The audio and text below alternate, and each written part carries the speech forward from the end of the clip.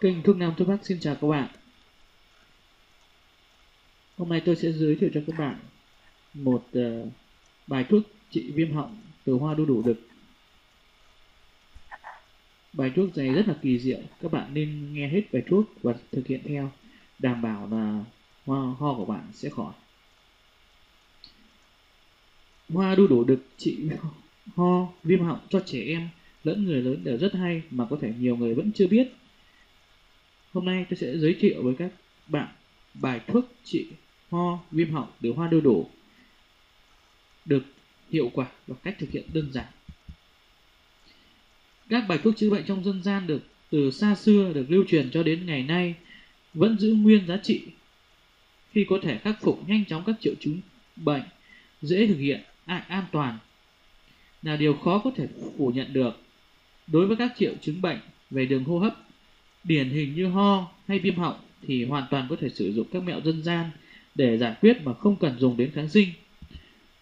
Một trong những cách chữa viêm họng cực hay được nhiều người áp dụng đó là dùng hoa đu đủ đực.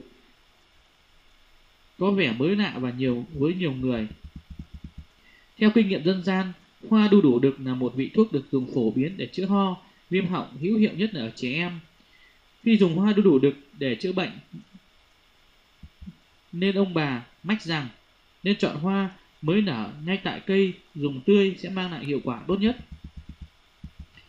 Chia sẻ bài thuốc chữa ho bằng hoa đu đực đơn giản. 1. Hoa đu đủ đực trị ho cho trẻ em. Lấy 10 đến 20 g hoa đu đủ đực, chọn hoa mới nở, rửa sạch rồi cho vào bát. Thêm đường phèn hoặc một hoặc mật ong nguyên chất với vừa đủ đem hấp cơm trong 10 đến 20 phút lấy ra, đem nghiền nát, chắt lấy nước cho bé uống. Cho trẻ uống 2 đến 3 lần trong ngày với nước đun sôi để nguội, khoảng 3 ngày sẽ hết bệnh.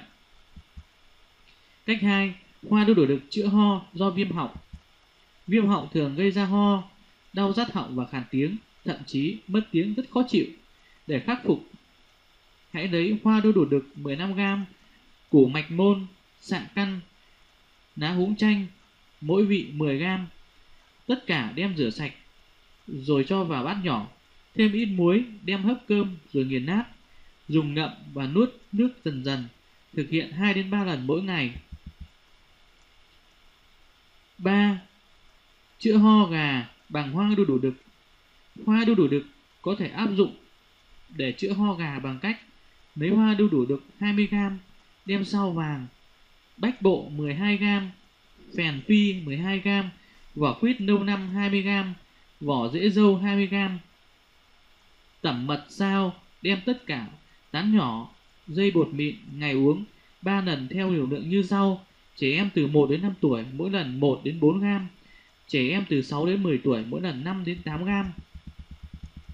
Cách 4. Hoa đu đủ đực chữa ho kèm theo mất tiếng. Lấy hoa đu đủ đực tươi 15g, cộng lá hẹ 15g, Đậu chanh tươi 10g, tất cả đem nghiền nát rồi hòa với 20ml. Thêm ít mật ong hoặc đường kính trộn đều vào và uống. Mỗi ngày uống 3 lần, dùng trong 3 đến 5 ngày sẽ cải thiện bệnh rõ rệt. Ngoài công dụng chữa bệnh đường hô hấp trên thì bạn có thể dùng hoa đu đủ đực để chữa một số chứng bệnh khác. Các bạn thấy bài thuốc này hay thì hãy chia sẻ với bạn bè và bấm nút đăng ký. Xin cảm ơn. 12g, phèn phi 12g, vỏ quýt nâu năm 20g, vỏ rễ dâu 20g.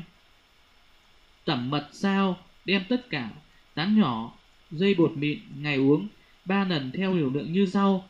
Trẻ em từ 1 đến 5 tuổi, mỗi lần 1 đến 4 gram. Trẻ em từ 6 đến 10 tuổi, mỗi lần 5 đến 8 gram. Cách 4. Hoa đu đủ đực chữa ho kèm theo mất tiếng Lấy hoa đu đủ được tươi 15g, cộng lá hẹ 15g, cộng chanh tươi 10g, tất cả đem nghiền nát rồi hòa với 20ml. Thêm ít mật ong hoặc đường kính trộn đều vào và uống. Mỗi ngày uống 3 lần, dùng trong 3 đến 5 ngày sẽ cải thiện bệnh rõ rệt. Ngoài công dụng chữa bệnh đường hô hấp trên thì bạn có thể dùng hoa đu đủ được để chữa một số chứng bệnh khác Các bạn thấy bài thuốc này hay thì hãy chia sẻ với bạn bè và bấm nút đăng ký. Xin cảm ơn. Thì bạn có thể dùng hoa đu đủ đực để chữa một số chứng bệnh khác. Các bạn thấy bài thuốc này hay thì hãy chia sẻ với bạn bè và bấm nút đăng ký. Xin cảm ơn.